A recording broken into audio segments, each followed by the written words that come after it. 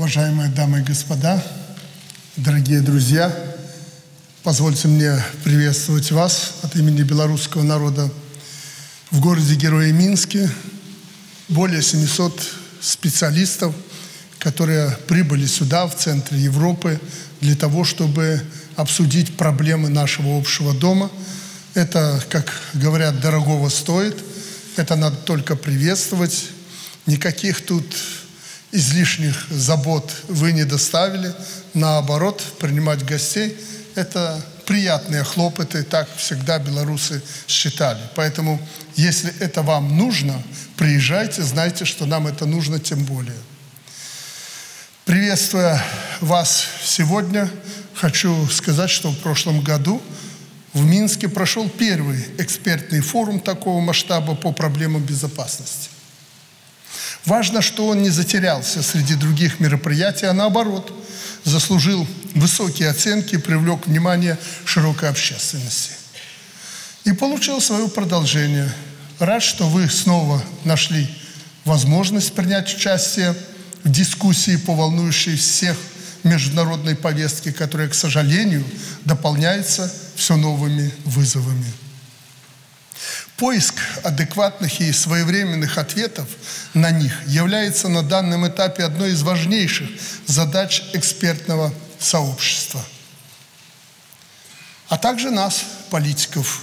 Об этом в том числе свидетельствуют проведенные в последнее время в Беларуси внешнеполитические форумы на широкой тематике от информационной безопасности, торговли людьми до терроризма – это говорит об очевидном росте интереса западной восточной аудитории к Минску как площадке диалога. И если это нужно нашей Европе, мы готовы в этом плане действовать на любом уровне, в любом месте нашей Беларуси. Отойти от края пропасти. Эти слова в теме нашей конференции предельно точно выражают суть главной проблемы в мировом сообществе беспрецедентная напряженность в международных отношениях, расшатывание основ интернациональной безопасности, рост числа региональных конфликтов затрагивают большинство континентов. Мы уже начали бить в набат, призывая остановить противостояние. В последнее время особенно много говорим о необходимости диалога, укрепления мер доверия и поиска компромиссов – но мир, к сожалению, лучше не становится. Более того, мы являемся свидетелями нового витка стратегического соперничества так называемых великих держав, полюсов силы, ну еще как вы там их окрестили. Торговые войны и санкционное противостояние набирают все больше оборот. Ужесточается борьба за энергоносители и сырьевые ресурсы многочисленные вооруженные и замороженные конфликты на Ближнем Востоке, Азии, Латинской Америке, Европе не решаются. Используются все более изощренные методы борьбы. Новым, ранее невиданным прецедентом стали атаки с помощью беспилотников на нефтяные объекты Саудовской Аравии. Таким образом, мир увидел новое оружие. Простое, дешевое, доступное – почти каждому террористу, но которая может нанести невосполнимый ущерб не только одному государству, но и планете в целом. Совершенно очевидно, в списке современных вызовов человечеству доминируют угрозы безопасности. При этом многосторонние площадки, включая Организацию Объединенных Наций, ОБСЕ, становятся местом выяснения отношений – а не решение проблем. Система военно-политических сдержек и противовесов разваливается на глазах. А международные организации пока не могут остановить этот процесс. Может быть, и не хотят, а может быть, те, кто доминирует в этих организациях, заинтересованы в этом. Нас не может не волновать тот факт, что градус недоверия и конфронтации между Востоком и Западом достиг предела. Эксперты в области безопасности и разоружения с обеих сторон уже рисуют ужасную в своем правдоподобии картину. Всего за несколько минут Россия и НАТО, например, могут пройти путь от непреднамеренного локального конфликта до ядерной войны. После недавнего выхода из договора о ликвидации ракет средней и меньшей дальности двух ключевых его участников, процесс разрушения архитектуры контроля над вооружениями фактически вышел на финишную прямую. Последний рубеж – договор по стратегическим наступательным вооружениям. Если стороны не договорятся о его продлении всего через два года, по-моему, 21 год, мир окажется в ситуации, когда отношения в сфере ядерных вооружений вообще не будут ничем регулироваться. Человечество семимильными шагами движется к черте, за которой действительно пропасть. К сожалению, приходится признать, что у больших держав есть основания относиться друг к другу с недоверием. Недружественные или даже агрессивные действия в прошлом укореняют взаимные подозрения и опасения на долгие годы вперед. В идеале нам нужно вернуться к концепции европейской безопасности, основанной на сотрудничестве, к ценностям Хельсинки и заключительного его акта, Парижской хартии для новой Европы. Нам всем срочно нужна сильная история успеха которая убедит даже ярых скептиков и ястребов, что несмотря на глубокие противоречия и недопонимания, интересы безопасности в Европе абсолютно совместимы. За последние два десятилетия Беларусь оказалась в уникальной ситуации. С одной стороны, мы военно-политический союзник нашей России, участник Организации договора о коллективной безопасности. Ни у одного государства нет такого уровня отношения с Москвой, как у нас.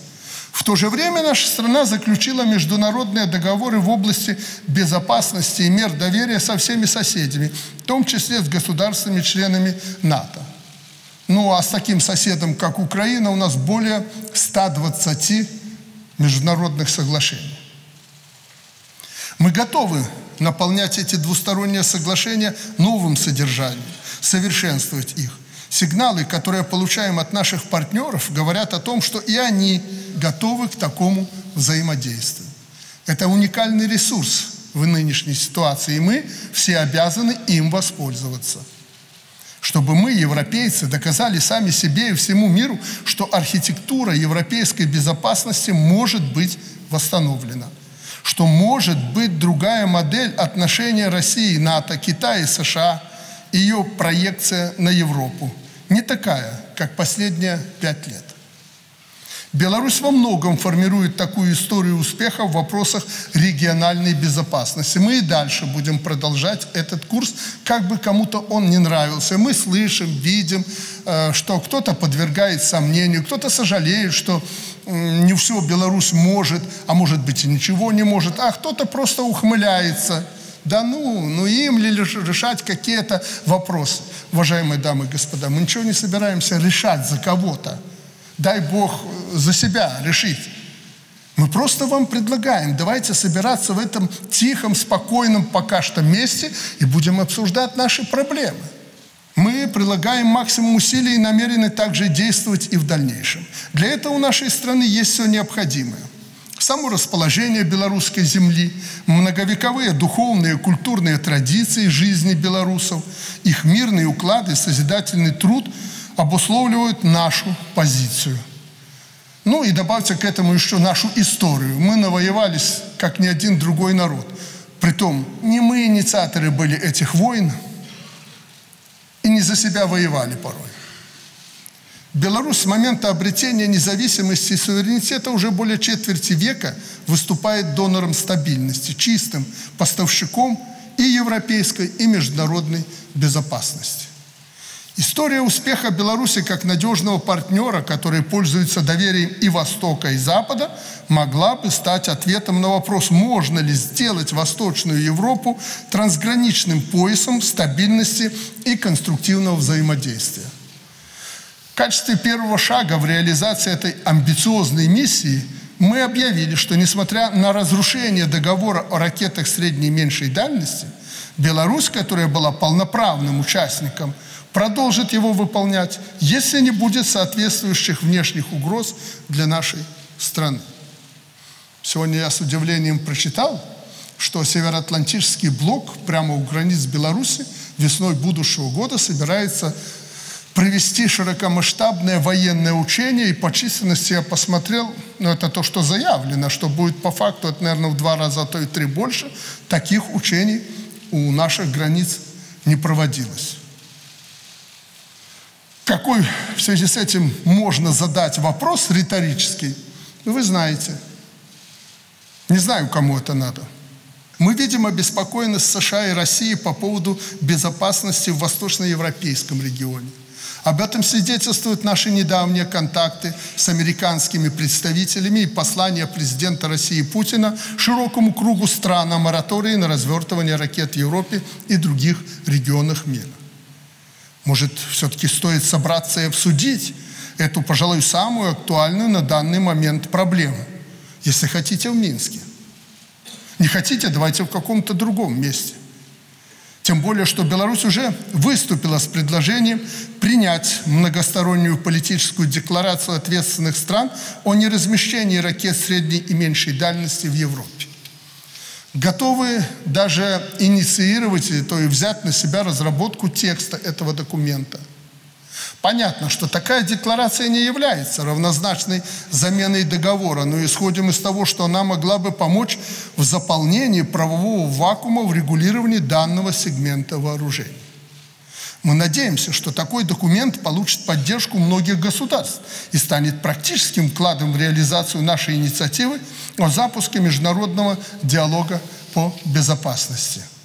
Вы знаете, что еще очень важно? Мы здесь так сказать, в русскоязычном нашем мире прекрасно знаем ситуацию вокруг этих ракет с точки зрения и из уст, можно сказать, средств массовой информации России. Мы знаем. И, в принципе, мы убеждены, что, наверное, Россия права. Но меня удивили недавние переговоры с американскими политиками. Я, когда ему задал вопрос, ну зачем вы это сегодня делаете? Россия же готова идти на разного рода уступки – изложил позицию, так как мы слышим со стороны России. Но его ответ, фактически как упрок, меня поразил. Он говорит, да нет, с Россией вообще невозможно на эту тему разговаривать. Все наши инициативы, они вообще не слышат. В этом плане был ответ. Так э, я подумал, ну а где правда? Так может быть стоит собраться все-таки обсудить? услышать разные точки зрения и хотя бы найти для себя, кто здесь прав, в чем эта правда. Это очень важно, понимание вообще проблемы, прежде чем ее решать. Сегодня новую историю успеха европейской безопасности нужно собирать буквально по крупицам.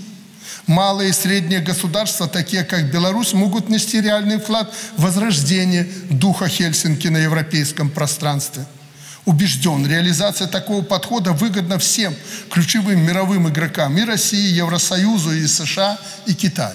Это ненормально, когда столько лет мы вообще на высшем уровне не собирались и не обсуждали эти проблемы. Чтобы откровенно переговорить с глазу на глаз и дать какой-то сигнал планете. А если не сигнал, то хотя бы развеять разного рода мифы вокруг этого. Это же ненормально. Зачем тогда ОБСЕ? Зачем мы создавали эту организацию? Чтобы посылать какие-то миссии на выборы и так далее. Аж организация по безопасности и сотрудничеству в Европе. И это позволило бы как минимум снизить уровень существующих рисков и геополитическую проблемность Восточной Европы, высвободить значительные ресурсы, которые могут быть направлены на мирные, созидательные цели будет способствовать прекращению дальнейшей эскалации конфликтов и постепенному улучшению атмосферы в отношениях Запада и Востока. Уважаемые дамы и господа, в этом контексте не могу обойти вниманием ситуацию на востоке Украины. Я сейчас объясню, почему я выделяю эту проблему. Ну, прежде всего, потому что это наша проблема, европейская. Ключевой вопрос безопасности в Европе – это решение конфликта в Донбассе. В братской нам Украине продолжают гибнуть люди. Регион не может выбраться из трясины социального, экономического и гуманитарного хаоса. Вот нам тест. Это лакмусовая бумажка. Если мы можем что-то, ну давайте в нашем доме разберемся и решим эту проблему. Украинский конфликт – это не просто нам вызов. Украинский конфликт требует от нас его решения. Если мы его решим, значит, мы на что-то способны. Если нет, ну, будем собираться и разговаривать, а толку будет мало. Несколько дней назад я был в Житомире, где проходил наш очередной белорусско-украинский саммит, форум регионов, но без политики не обошлось. С президентом Владимиром Зеленским мы имели обстоятельный разговор по широкому кругу тем. Я почувствовал, что президент Украины человек настоящий, крепкий человек, патриот своей родины, абсолютно нормальный, вменяемый политик, который хочет решить эту европейскую проблему, которая ему досталась наследство. Он готов к трудным решениям достижения мира, и мы его в этом поддерживаем. В Беларуси рады, что в процессе разрешения конфликта появляется прогресс. Осуществлен обмен задержанными лицами. В Минске на заседании трехсторонней контактной группы также наметился некий процесс. Но если кто-то думает, что лед тронулся, нет. Он не тронулся и не тронется, если мы не подтолкнем процесс. Почему? Потому что мы этого Зеленского, которого загрузили этим страшным грузом, не его проблемами, оставили один на один с этими проблемами. Вы видите, что происходит в Киеве. Там без разбора используют определенные силы этот процесс – чтобы вообще придавить новую власть и нового президента. И Европа безмолвствует. Вы знаете, о ком я говорю. Ни с востока, ни с запада. Только камни бросают в адрес этого молодого человека. Каждый в собственных интересах. Да очнитесь вы в конце концов. Война не только в Украине, война у нас, в нашем доме. И решать эту проблему нам – и если эта нормандская четверка чего-то стоит, так давно уже надо было собраться и что-то решать. Решать, если хотите. Но я в этом сомневаюсь. Я был в этом процессе и знаю, как решается. Каждый старается набрать там себе политические очки. На чем? На гибели стариков и детей? Надо решать эту проблему. Тогда вот эти диалоги будут иметь какое-то значение.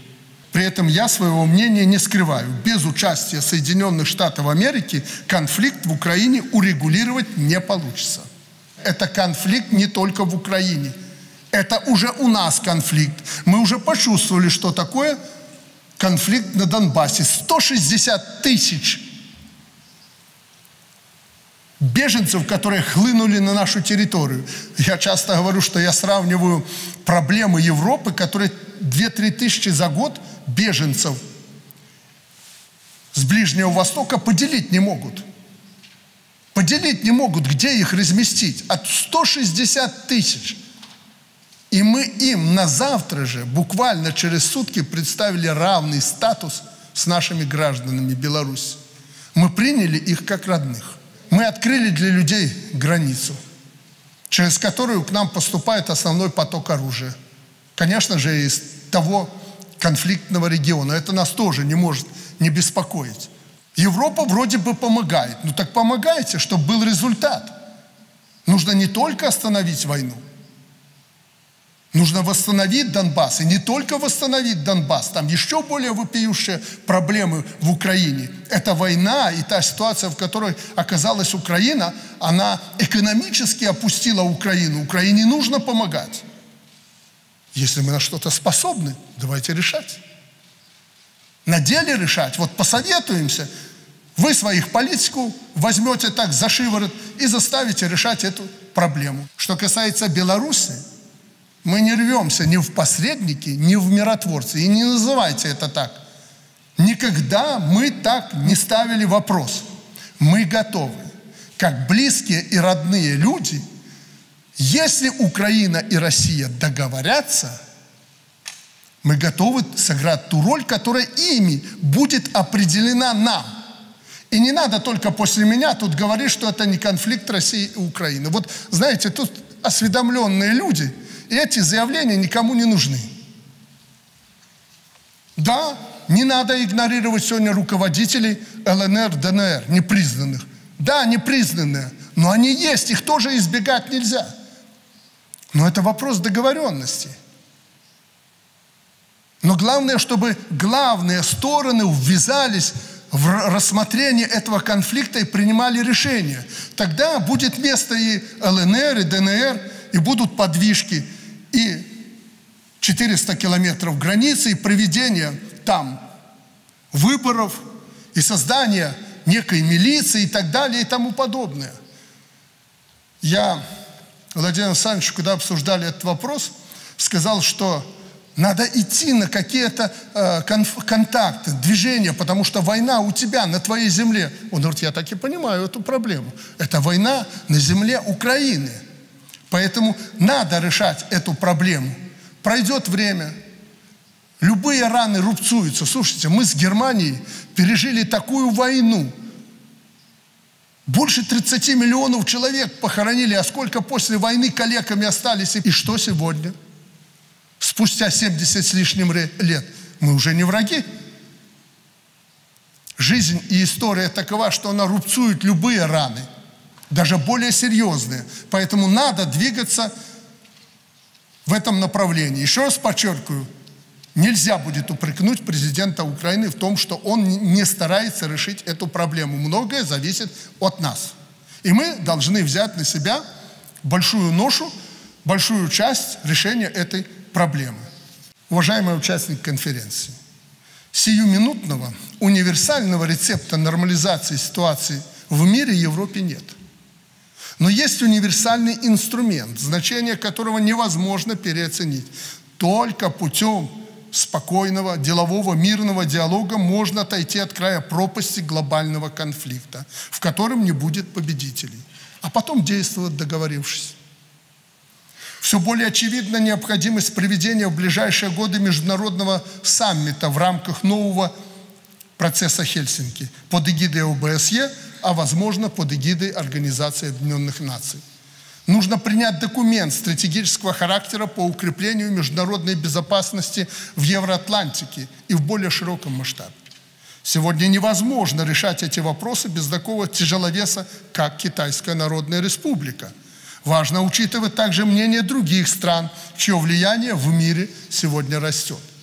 Мы готовы продвигать идею и Хельсинки-2, диалог Европейского Союза и Евразийского экономического союза, ОДКБ и НАТО, сопряжение с китайским проектом «Один пояс, один путь», ШОС, АСИАН, создание пояса цифрового добрососедства, об этом все больше сейчас говорят – Будем поддерживать все конструктивные идеи, направленные на преодоление разделительных линий, сохранение мира.